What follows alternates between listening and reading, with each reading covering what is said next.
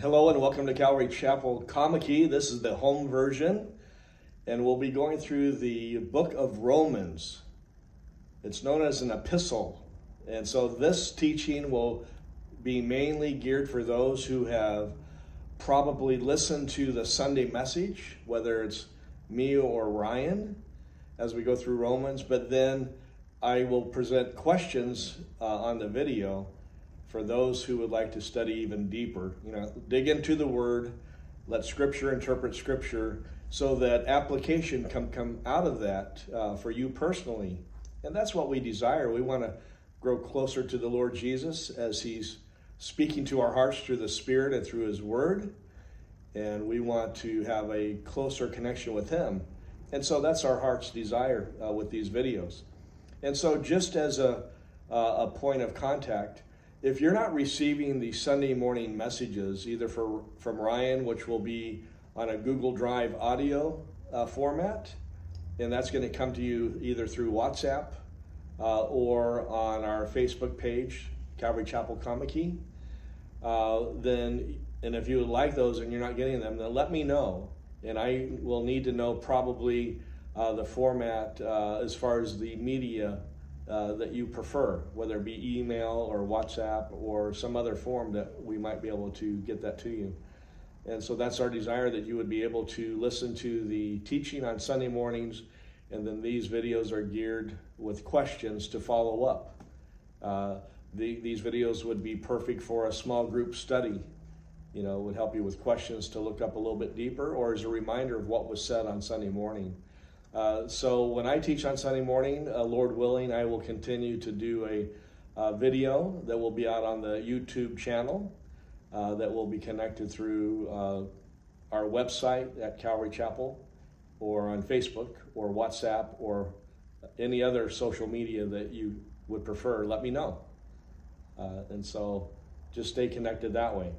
And so let me read from my Bible, which is not even a study Bible, it's a very basic Bible, but it does have a little um, introduction to the book of Romans. So I'll read that, and that would be a good um, starting point.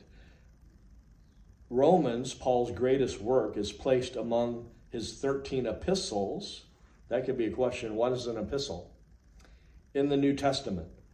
While the four Gospels present the words and works of Jesus Christ, Romans explores the significance of his sacrificial death.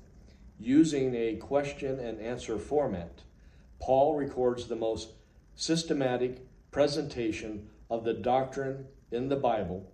Romans is more than a book of theology, it is also a book of practical exhortation. The good news of Jesus Christ is more than facts to be believed, it is also a life to be lived, a life of righteousness befitting the person justified freely by God's grace through the redemption that is in Christ Jesus. So that was a mouthful. But Romans is a very important book, as all the rest in the Bible.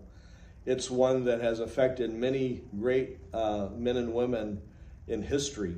Uh, for example, Martin Luther uh, would say something like this that uh, every believer in Christ should read the whole book of Romans every day. You know, sit down, one sitting, read through it. I've tried that. I've done that uh, for a while, and that that did impact me. But we don't need to be legalistic or anything as far as what we're trying to say here. But it is a very important book, and it answers a lot of questions. Now, I read in in the introduction that Paul uses a question and answer format. Sometimes he'll or often he'll ask, ask a question and then answer it right away. So that's the way he writes, and it's, it's something to be aware of. And so uh, in the first two teachings, uh, we've made it through chapter 1, verses 1 through 7. Uh, Ryan did an excellent job uh, with the introduction, and he gave a lot of facts and a lot of information. Now, if you have a study Bible, uh, you're going to find out a lot of information right at the beginning. Open up your study Bible to Romans, and you're going to find out uh, when most Bible the- theologians think it was written, where it was written from, uh, who was written to, what was happening in Paul's life. You know, uh, where did he write it from? Uh, and so, if you listen to the teaching on Sunday, you'll have that answer. But find out where was Paul when he wrote this epistle to the Romans, the church in Rome, you might say. And, and so I have a little notebook. I've been uh, keeping some notes so that I can come up with some questions for these videos.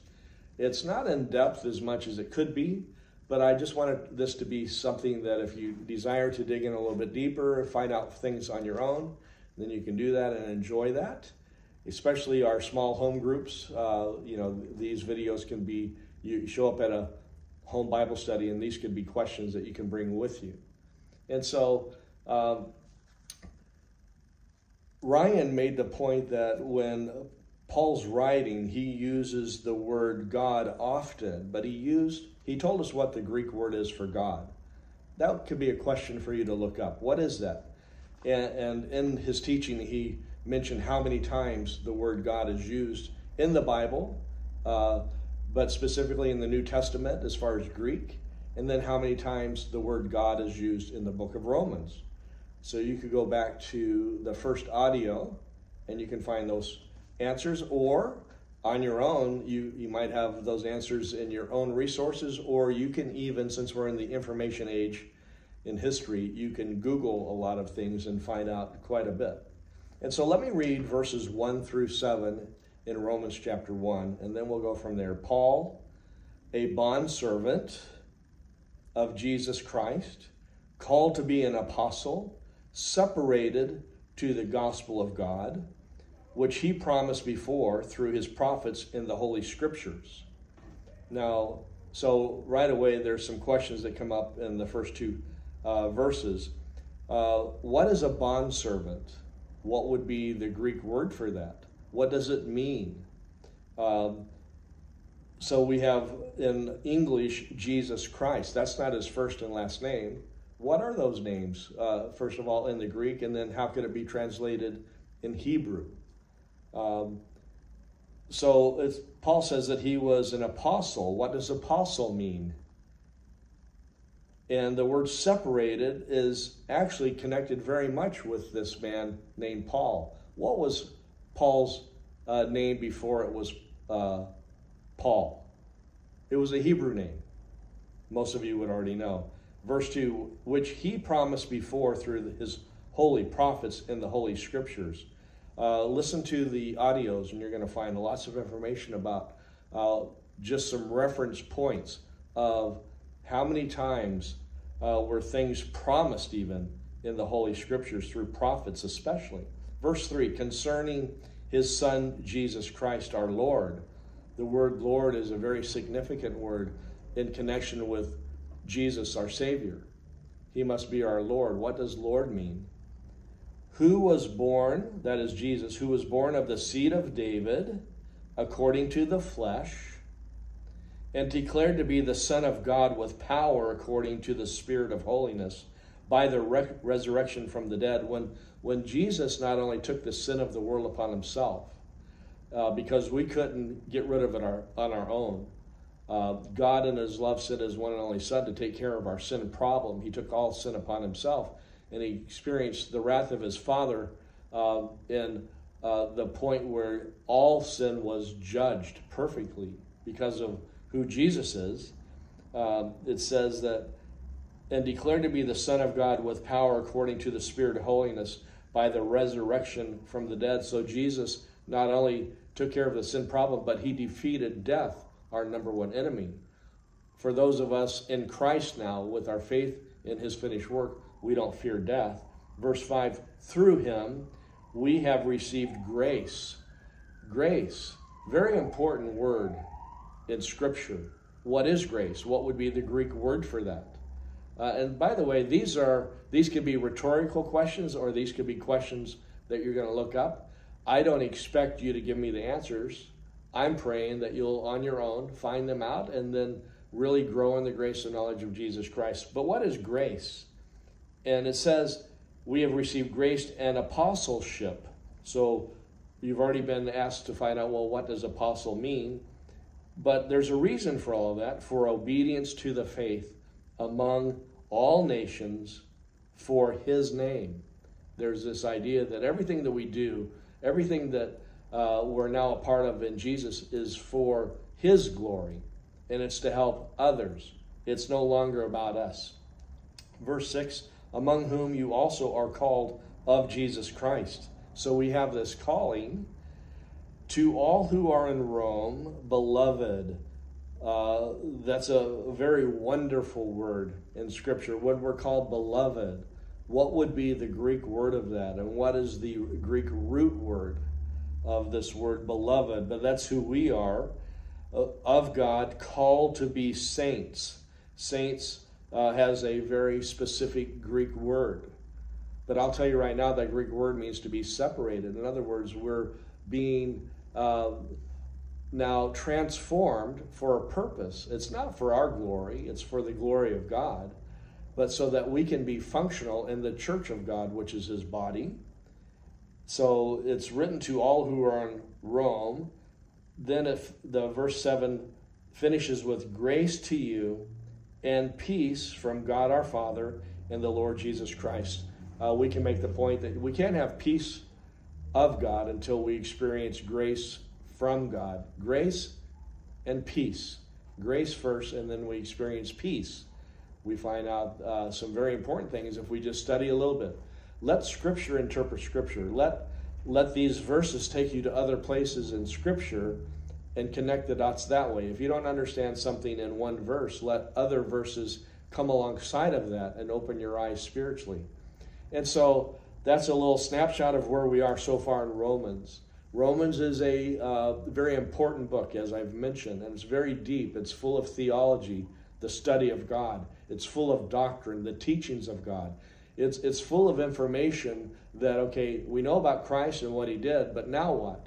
It answers questions like that. And so as we progress now with these videos, we pray that we'll all be growing in uh, our connection with Jesus uh, you know, and even as we're following Jesus, sometimes we can break fellowship with the Holy Spirit as we make bad choices. It's, it's a picture of the Garden of Eden uh, when Adam and Eve sin, and God is searching for his creation. Adam, where are you? I miss you. I desire fellowship with you. And so books like Romans help uh, helps us to understand that we can have this connection with the Lord and even when we uh, break fellowship, he's always there with open arms. And so all have sinned and fall short of the glory of God. We're going to find that out in chapter 3. And the wages of sin is death. But see, Jesus took care of that problem uh, by a finished work on the cross. So, so be reminded that we're never able to point fingers in judgment toward anyone else. We were all sinners. We were all separated from a perfect God. Uh, no one can ever say, Well, I was good enough to go to heaven without Jesus dying for me and taking care of my sin problem. All of, all of us have sinned. And so uh, keep that in mind. Uh, I'm excited to go through the book of Romans in this format with questions. I'm praying that it's going to be a blessing to you. I don't want to overwhelm you. I just want to uh, maybe be a blessing as far as some possible questions. Now, you can come up with your own questions. Uh, and I invite you to do that. Ask yourself questions as you're going through. You know, who was uh, writing this? Who was it written to? What was happening during the time it was written? Uh, you know, what is the purpose of the writing of it? And so all those type questions, very healthy, and it's it's fun to to dig in like that. So be blessed by this, and uh, until next time, God bless.